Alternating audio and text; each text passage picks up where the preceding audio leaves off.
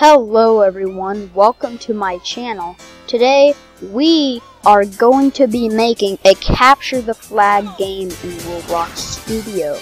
So, first off, we're just gonna make a very small base. So, I'm just gonna time lapse me making the base real quick. And we're gonna have the teams red and blue. So, you can do this however you want um, I, but I'm just gonna make this base. And there we have one spawn thing. So, we can actually make this a group, and then we can make it, just call it spawn 1.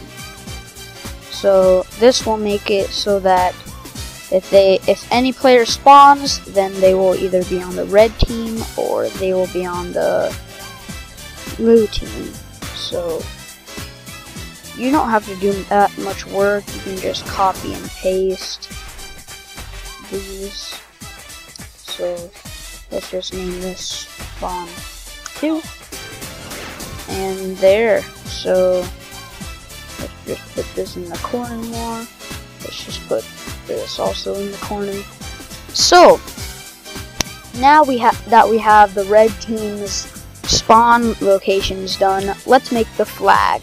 So, this actually takes a while, so I am going to make the flag and then I'm just I'm just going to cut it out. So I have made the flag stand. Is now it is time to add this script. So I will actually add this flag stand as a model, but I will not add the script in there.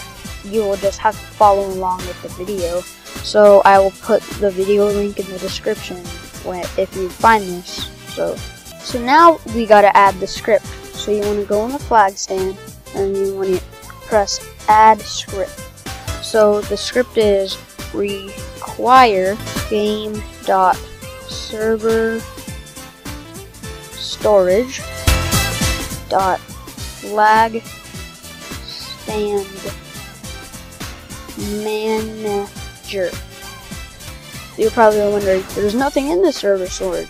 That's well, that that's because maybe in later parts, uh, the the scripts aren't added yet.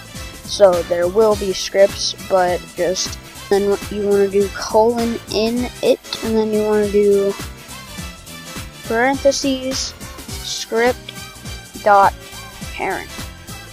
So that makes you pick it up, I'm pretty sure. But um I think that's gonna do it for part one. If you want part two, then um, just like and subscribe for more updates. I'm pretty sure I will be making another part today. But yeah, I think that's gonna do it. So, see you guys later. Hope you all have a good day. And, uh, see ya.